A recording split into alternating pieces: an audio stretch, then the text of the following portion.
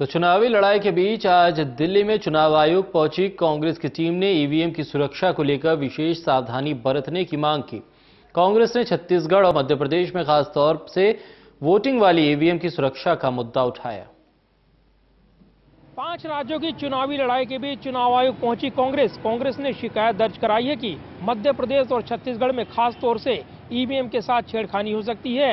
वहाँ वोटिंग हो चुकी है और स्ट्रांग रूम में रखी ईवीएम के आसपास इर्द गिर्द संदिग्ध लोग घूम रहे हैं। खासतौर से छत्तीसगढ़ का हवाला देते हुए कांग्रेस ने सुरक्षा सुनिश्चित करने की मांग की है। इसी के साथ कांग्रेस ने सहारनपुर में एक वर्ग विशेष के वोट काटे जाने का आरोप लगाते हुए भी शिकायत दर्ज कराई है।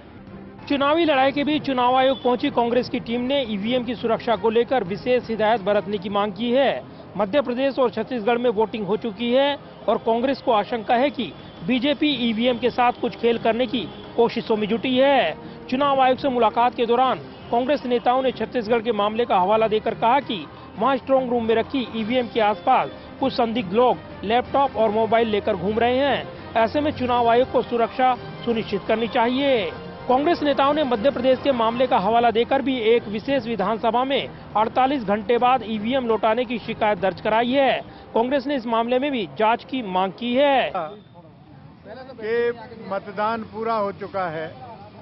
अब मतगणना सही ढंग से हो जाए। ईवीएम सुरक्षित रहे। स्ट्रांग रूम सुरक्षित रहे।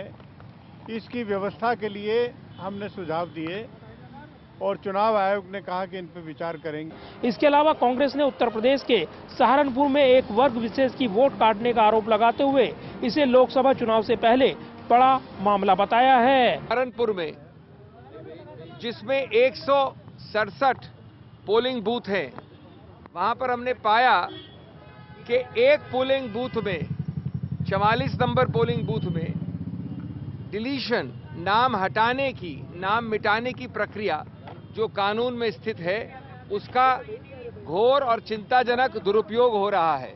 इधर कांग्रेस के चुनाव आयोग में शिकायत को लेकर बीजेपी ने यह कहकर पलटवार किया कि कांग्रेस को अपनी हार का डर सता रहा है। लिहाजा अभी से ईवीएम की शिकायत शुरू कर दी है।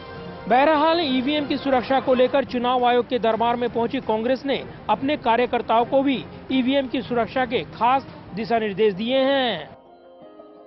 ज़ाहिर चुनाव के दौरान तो ईवीएम मशीनों के साथ छेड़खानी की शिकायतें आम रही हैं, लेकिन अब चुनाव के बाद कांग्रेस ईवीएम की सुरक्षा को लेकर भी सवाल उठा रही है। लिहाजा चुनाव आयोग में शिकायत दर्ज कराते हुए कई सुझाव भी दिए गए हैं।